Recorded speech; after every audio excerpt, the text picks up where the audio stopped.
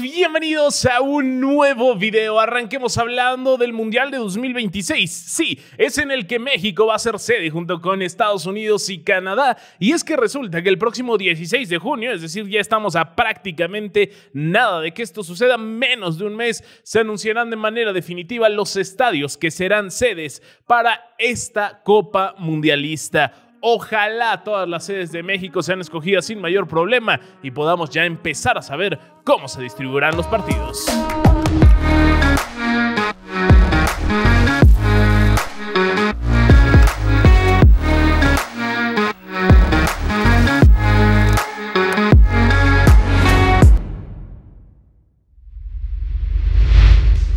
Empecemos hablando primero que nada acerca de lo que fue la semifinal del día de ayer. Se enfrentaron a América y Pachuca allá en el Estadio Azteca. Lo advertía Almada, lejos de pesarles, lejos de costarles, iba a ser una motivación estar en tan espectacular estadio. A final de cuentas, terminaron uno por uno. Primero anotaría el América y más adelante empataría Pachuca por la vía del penal. Un penal que a muchísimos llamó la atención y para muchos, bueno, pues no tenía que haber sido señalado. Sin embargo, bueno, el mal arbitraje es algo que hemos traído desde hace ya un rato. En este caso tampoco es así como que se lo hayan regalado al Pachuca. Existían razones suficientes para poder ser considerado así, pero la verdad es que sí fue muy exigente por parte del árbitro. Vámonos ahora sí a hablar acerca de las reacciones de los directores técnicos. Y es que Fernando Ortiz, director técnico de las Águilas del América, habló sobre lo que será el próximo domingo y dijo que ellos saben, él está seguro de que saldrán a ganar en la cancha de los Tuzos. Tienen las herramientas suficientes, son un equipo que se impuso el día de ayer, sobre todo en la primera parte,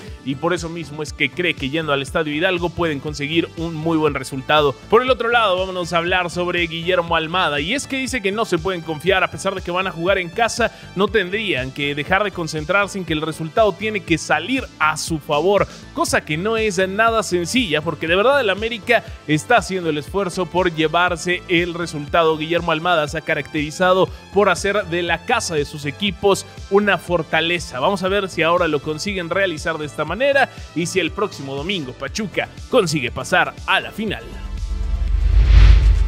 Félix Torres es uno de los jugadores de Santos que más han llamado la atención en los últimos torneos y ahora habla sobre lo que ha sido esta experiencia en la laguna, destacando que desde que llegó han mejorado muchísimas cosas en su fútbol. Incluso habló sobre el proyecto con Almada y dijo que él le ayudó muchísimo a mejorar su fútbol aéreo, donde todavía no se siente tan bien, pero es que destaca que cuando llegó aquí al fútbol mexicano saltaba muy bien pero calculaba muy mal los tiempos y eso poco a poco lo fue corrigiendo hasta que en este momento todavía no se siente 100% satisfecho con cómo lo hace por el aire, pero sí que es cierto que considera que ha mejorado. Por otro lado, también destacó que su llegada a México ha ayudado en su carrera y que en este momento él se siente cómodo dentro de las filas de la laguna.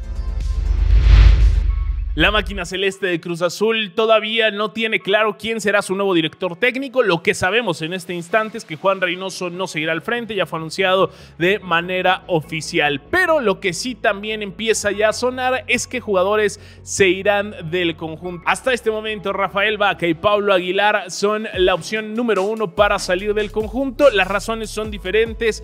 La ruptura de Rafael Vaca con la afición es muy grande. El jugador no se siente cómodo, la directiva tampoco se siente a gusto con la separación que hay en este momento entre afición y jugador y por eso es que no verían con malos ojos dejarlo salir a pesar de que todavía le restan seis meses de contrato. Y por el otro lado, por el lado de Pablo Aguilar, ya sabíamos que el jugador se iría, renovó con la intención de seguir trabajando de la mano de Juan Reynoso, pero él lo tenía clarísimo. El 30 de junio era muy probable que regresara a Paraguay y al parecer eso es lo que sucederá. Terminará su contrato con Cruz Azul y se irá directo a su país para continuar allá su carrera, donde incluso podría convertirse muy pronto en directivo.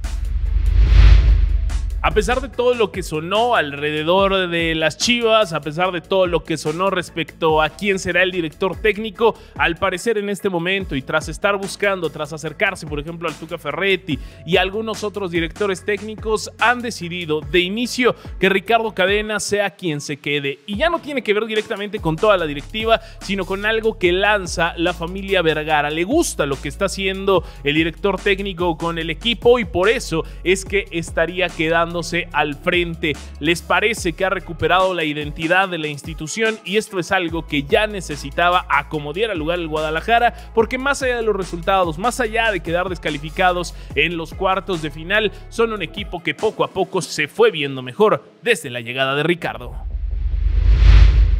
Como bien sabes, y bueno, por si no lo sabes te lo cuento, cuando se están jugando las semifinales del fútbol varonil, se empieza a jugar también la final del fútbol femenil. Así ha sucedido en eh, varios torneos y así es como pasa en este momento, cuando hoy por la noche se enfrenten Pachuca contra Chivas. Los dos equipos tienen muchísimo por delante, han conseguido respectivamente eliminar a cada uno de los regios. Por fin vamos a tener una final que no sea regia después de muchísimo tiempo, Chivas tiene la posibilidad de volver a campeonar. Unas Chivas que lograron sobreponerse a la pérdida que habían tenido en la semifinal de ida y bueno, con un empate en el global consiguen meterse en la final. Pachuca por su lado anotó tres goles y por lo tanto dejó fuera a Rayadas. La verdad es que la liga femenil está por muy buen camino, el, potencial de las jugadoras es alto. Yo te recomiendo que lo veas hoy a las 9 de la noche a través de Fox Sports. La vuelta será el día lunes, cuando ahora sí ya conoceremos a las campeonas definitivas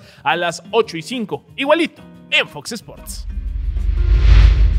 Y ya para terminar, vamos a hablar acerca de la selección mexicana de fútbol, empezando con la noticia del Chucky Lozano, que quizá ya sabías, y es que ayer fue intervenido por el problema que traía en el hombro derecho, desde que estuvo con selección mexicana y salió lesionado, no había terminado de recuperarse, y ayer lo operaron. Salió con 100% de éxito, se espera que en los siguientes meses termine de rehabilitarse sin mayor problema y pueda estar de regreso para el siguiente torneo sin ningún tipo de contratiempo. La verdad es que todo salió muy bien, te recuerdo, viajó desde Italia hacia México para ser operado aquí en la capital del país. Y por otro lado, vamos a hablar acerca de Víctor Guzmán, quien sabemos que era regularmente convocado con la selección mexicana hasta que presentó el problema de doping. Y bueno, pues ahí las cosas se complicaron, dejó de ser llamado. Obviamente no es una buena imagen que quiera la selección mexicana en este momento. Sin embargo, dentro de las canchas sigue trabajando muy bien, sigue haciendo de manera correcta las cosas con los Tuzos y por eso es que en este instante dice que a estar chingando y chingando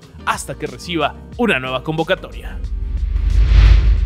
Y ahora sí, eso es todo por el día de hoy. Espero que hayas disfrutado mucho de este video. No olvides que puedes suscribirte aquí abajo, activar la campanita y dejarnos tus comentarios que todos los leemos e intentamos contestarlos absolutamente todos. Nosotros nos vemos al ratito con el video de fichajes y rumores donde te enterarás de todo lo que se mueve en el mercado mexicano. Y ahora sí, eso es todo. Hasta entonces.